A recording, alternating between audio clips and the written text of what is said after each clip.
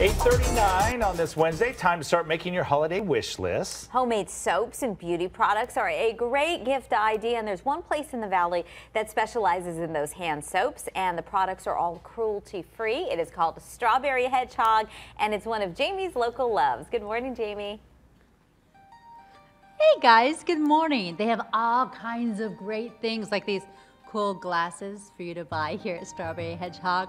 And uh, I mean, you can smell this place from around the corner. So I'm on uh, 15th Avenue and Thomas, sitting right here. You can tell this building because it has all the beautiful lights here and it is just gorgeous inside and so fragrant. So I want to introduce you to uh, the lady behind the soaps here, our dear friend Tracy. And Tracy, uh, you know, it was kind of a health reason that you came to make these soaps and now they just have been uh, uh, flying off the shelves. Tell me first of all how this all came to be. Sure. So I started making making products in 2003 just for myself because I was having issues with conventional products and I had such great luck. I wasn't having bad reactions to what I made.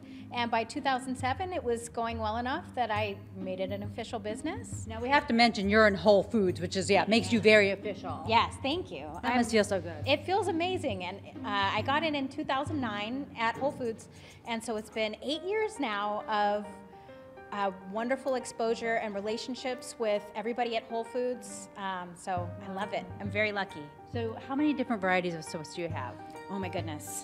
Too many to count. Too many to count. Many to but count. you have a favorite. I expected you to say, "Oh, I don't know, my baby," uh, but you had a favorite right away. I do. Yes, the eucalyptus lime is my favorite. Uh-huh. Uh, I've been making that one since the beginning, so I've, you know, it's kind of near and dear. Where is it? It's near and dear. Straight ahead. Let's see. I'm gonna grab this one From my tree in my garden, and um, it smells like the spa. That's why Look at that. I love it. I, love it. I said that before you. I even knew you were going to say the spa thing. Okay, so let's go back here because we want to show the folks how you make these things. Uh, you you have a great Instagram account first oh, of all for you. watching what you slice uh, for Phoenix Flea. I'll show you a little preview in a 2nd mm -hmm. But show me how you make this. Sure. So first, I I whip it up in a in usually in a gigantic pot. I do about 40 pounds at a time. Um, but uh, I pour it into a mold. I do several layers, and then I uh, have to let it sit for about 24 hours, and then unmold it. Release the release soap. The, release the hounds. yes, release the soap. So uh, it's kind of like getting ice out of an ice cube yeah. tray. It's not not terribly graceful, but there we go. And I will show you after I get this out.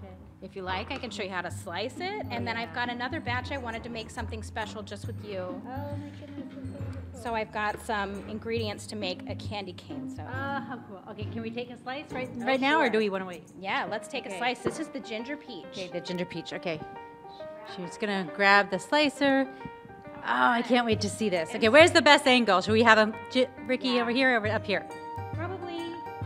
Right, right here. here. Okay. All right. So, what is so fun about slicing the soap is that every time the pattern is a little bit different.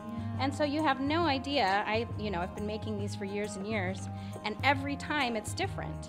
And how much for a bar of soap? Uh, each bar of soap is ten dollars, or we have a sale going most of the time. Honestly, three for twenty-five. Oh wow! It's great gifts. And then Tracy cuts every single bar that comes out of here herself. So this is near and dear to the heart. Okay, real quick before I let you go, I want to tell you about the body creams that she has. So we're going to talk about that 945.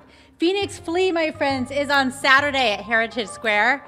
Look, this is a Phoenix Flea only soap. How cute is that? That is perfect for your friends and family who maybe do not live here anymore or the ones who do. Uh, so again, you know, it's shop local. It's Small Business Saturday this Saturday. You know I have to talk about that. But it's called Strawberry Hedgehog. We're right here at 15th Ave in Thomas. Come on down and see Tracy. Great place. And 945, we're going to uh, make some uh, whipped creams and such for the body and learn more about that. Back to you guys. It's a great store. Really cute. Really Thank you, nice. Jamie.